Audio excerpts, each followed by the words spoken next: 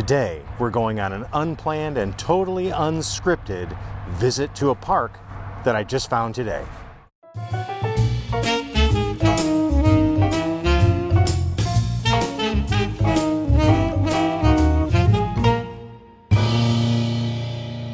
Southeast Michigan, we're approaching peak autumn colors, and I was driving around today looking for sites to photograph, and I came across a local park that I never even knew existed.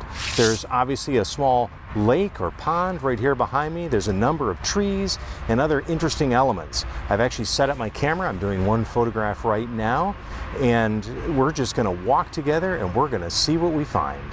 We're set up with a 55 to 200 millimeter Fujifilm lens. I saw this tree leaning over the water and I thought it made an interesting element.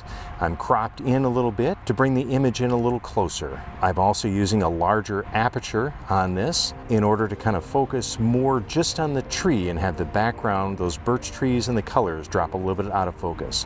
One of my main points of interest in this are the reflections on the water. So my settings, as you can see, my aperture is 4.4. I'm at a 30th of a second shutter speed, and I do have a circular polarizer filter on the lens. I'm gonna trust my intuition.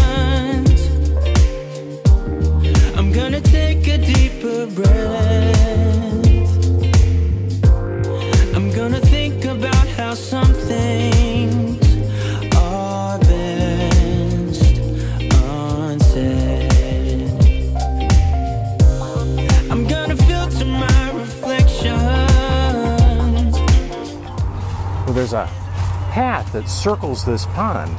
And that's what we're doing is we're just walking the path around the pond to see what we can find that looks interesting to photograph.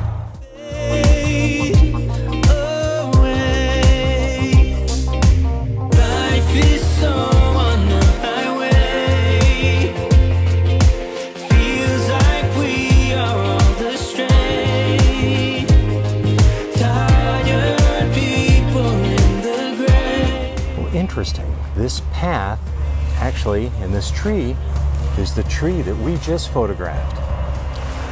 In an earlier video, we discussed the polarizing filter and the effect it had on water reflections. I'm going to set up a split screen on this and show you what the polarizer filter actually does for water reflections.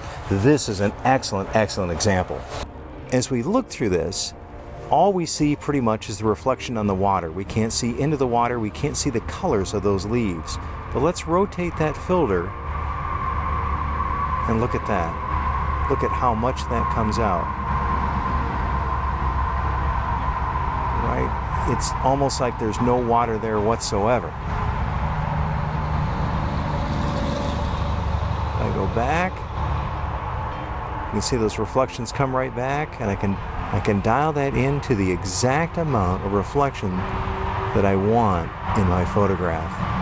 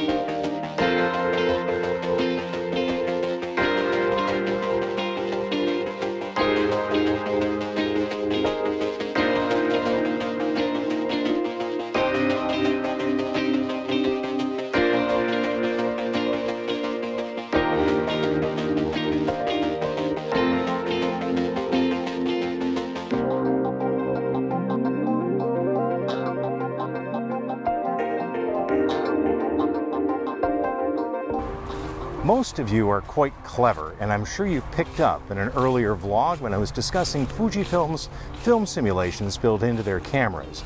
And I mentioned that I was using Superia, but if you look, there is no Superia simulation in the Fujifilm. One thing that I do, and a lot of Fujifilm shooters do, is we have recipes that we put into the camera. We can program them in with different film simulations, and there's a number of people that have figured out a number of these film simulations. The Superia is actually one that I programmed and named into my camera. And I really like it for fall and for the autumnal colors. It just really makes them pop. Again, it's just a little bit of data that comes along with that raw file into Capture One. I still have the entire raw image, but also the beauty of working with the Fujifilm system and Capture One is it carries along any film simulations that you might have had kind of as a starting point. Many photographers find Fujifilm's simulations so good that they just shoot JPEGs. They don't even shoot raw files. That's amazing. I've done that before too. I've taken that, um, I believe, a little bit of a chance and done that and have never been disappointed in the results.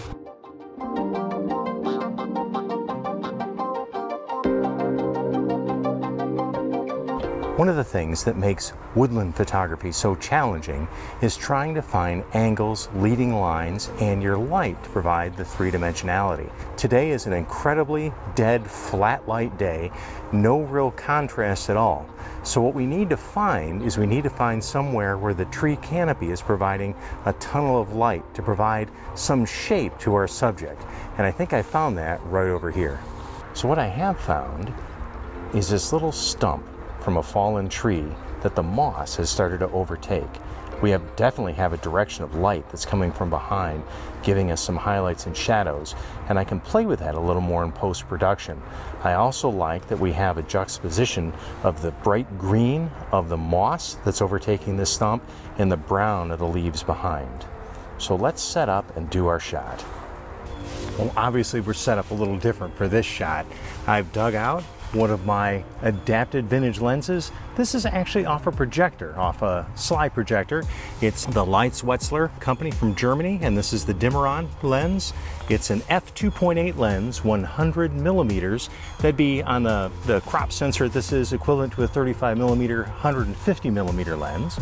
This lens has a very unique rendering. It is not tack sharp but it definitely gives just a beautiful three-dimensionality to the image. One of the challenges I had was throwing the background out of focus. This gives me an f2.8, so which helps me lock, drop that background out of focus, and also the 100 millimeter, I backed up a little bit. I was trying to work with the standard Fujifilm lens to be at 55 millimeters, but f4, it just wasn't cutting it.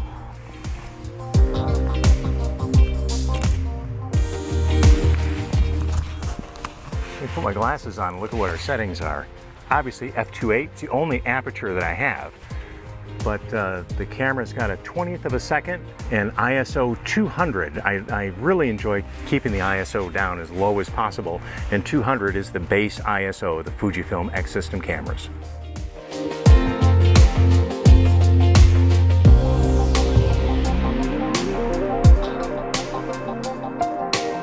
Contrast is what makes life interesting. Fire, ice, hot, cold, yin, yang, male, female, red, and green. The moss was so green in the stump, I felt it'd be a good contrast to place a couple of red leaves onto this, provide a little pop of color. We can play with that a little bit in post production as well. Um, let me know if you're an absolute purist and you think that scenes need to be left as we come across them, or if you think it's okay when we do landscape or woodland photography to move things around a little bit as we see fit or we think they should be.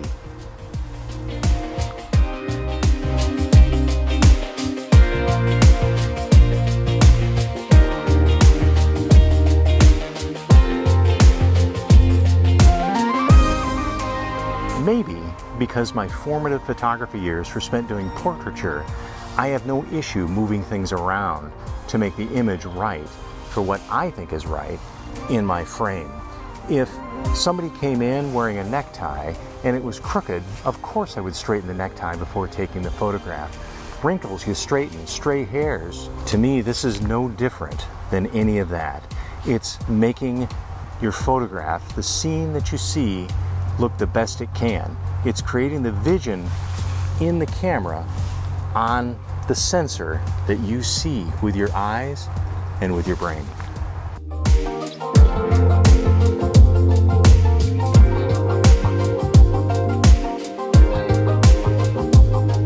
All things considered, and with our brief time together today, I think we had a pretty successful day of photography. We were able to create a couple of images, demonstrate the polarizing filter and its effect on water and reflections, and talk about light and some three-dimensionality, plus a little bit of information about contrast of color. If you like these teachings, if you like these vlogs, please consider subscribing. I'll run that right across the bottom right now. And remember, once you subscribe, you have to click the notifications. That's the bell with the quotes around it or tries to indicate that it's ringing. Then you'll know every week when we post a new video. As always, thanks for coming along, and I really appreciate you being here with me today. Bye.